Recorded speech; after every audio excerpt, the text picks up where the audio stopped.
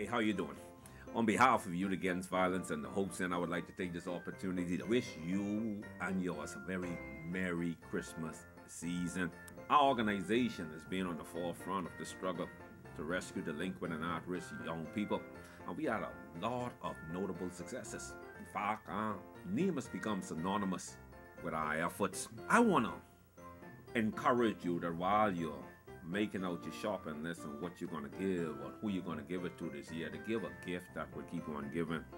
When I say a gift that will keep on giving, what I'm really meaning is that when you give to our organization and the work that we're doing, you're helping us to empower other young people who in time are going to empower other young people. Thus, it'll be a gift that will keep on giving.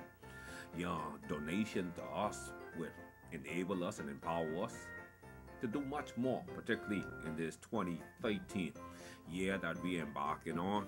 So I want to encourage you to give the most influential gift that you will ever be privileged to give, and that is to make a donation to Youth Against Violence. Become a partner with us. You could do this on a monthly basis, you could do it on a weekly or even a yearly, or you could do a one time donation, and it could be any amount. You decide what is comfortable with you.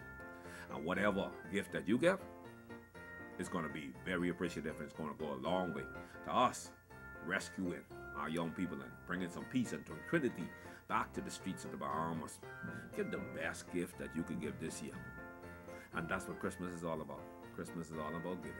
Again, I want to thank you so much for your support in advance. And we wish that you would have yourself a very Merry, Merry, Merry Christmas. Look forward to hearing from you. Write to us, send us your gift, and you can just put it in the mail. Or you can call us and we'll be more than happy to come and pick it up from you. Merry Christmas. Most prosperous and productive New Year.